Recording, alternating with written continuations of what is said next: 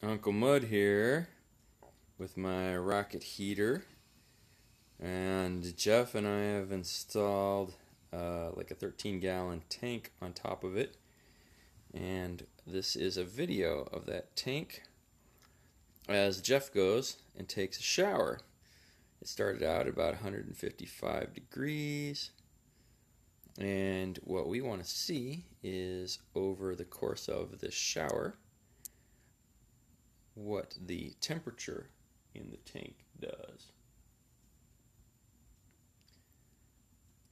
So it's a standard 8 inch rocket mass heater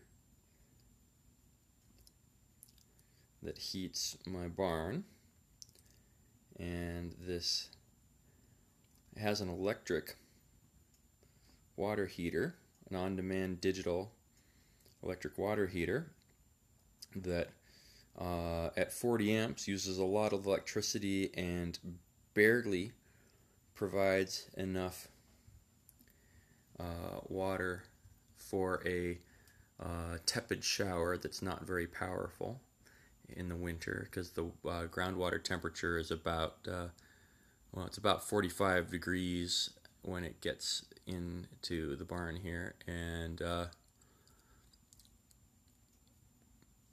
So the idea here is to have a pre-warmer, a tempering tank, but we just happen to have it sitting on top of the rocket heater, and it's set so that it can't uh, uh, get above about 160 degrees.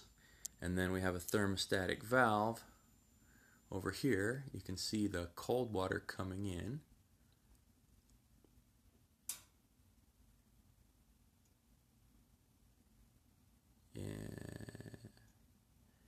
Cold water coming in and then hot water coming out of the top of the tank next to the pressure relief valve and uh, coming into our tempering valve. And let's take a look around here. You can see the cold water coming into the tank and it mixes with the water that's in there and it cools the whole thing down pretty quickly. We started out about 155, the center of it's about 140 there. But let's see if we can get a temperature on our tempering valve. This one, this pipe here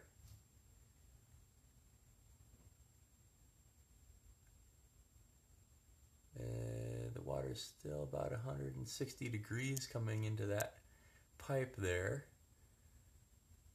And there's our tempering valve. And the water coming out of that tempering valve is about 115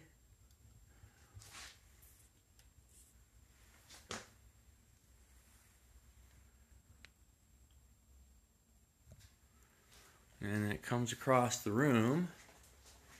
You can see the water coming out. We've set this uh, on-demand heater to 91 degrees so that Jeff won't get frozen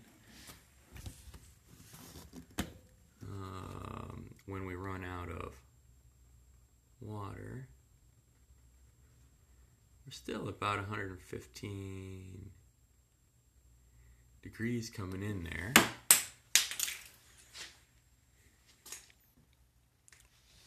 It's kind of cool seeing all the different thermal images in the room. It's nice and warm over here.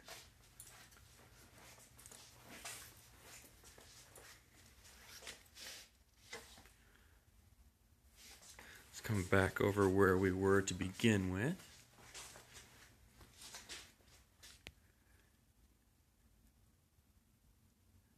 So this point that we were pointing at to begin with is down to about 120 degrees, 121 degrees, down from about 150. and we're five minutes into a shower.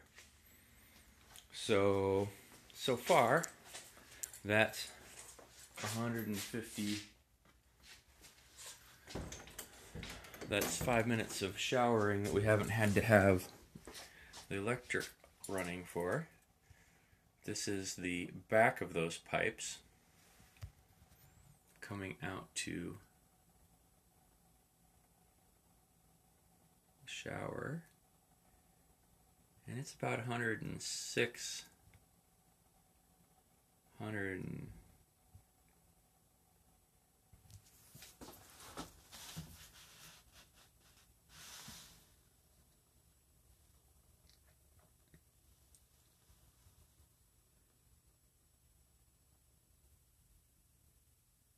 Ninety-seven degrees or so coming out of there.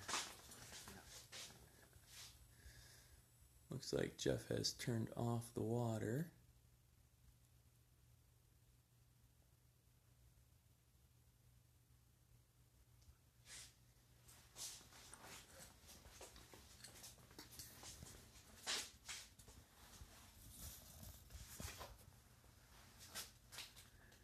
Water in the tank is at about 117 degrees six and a half minutes into the shower. Down below where the cold comes in, you see it starts to warm up. At the bottom, the fire keeps warming that. And up here, where the water's coming out, it's still 140, 150 degrees.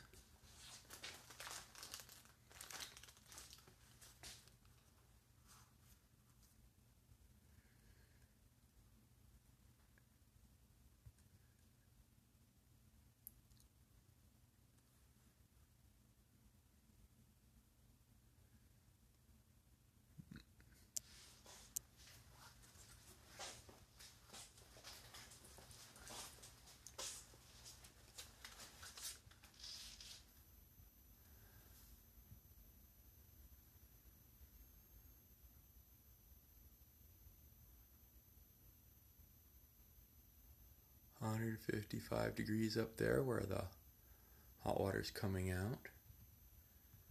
The top of the rocket.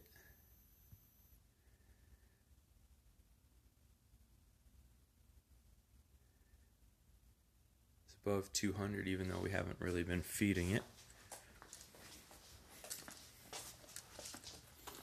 I suppose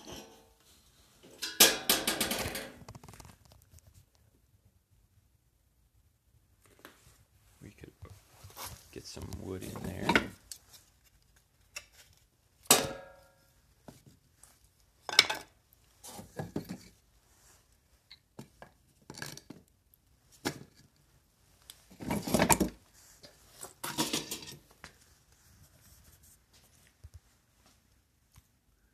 Jeff doesn't appear to be taking a shower from the fact that the water heater is not on. I don't hear water going through it.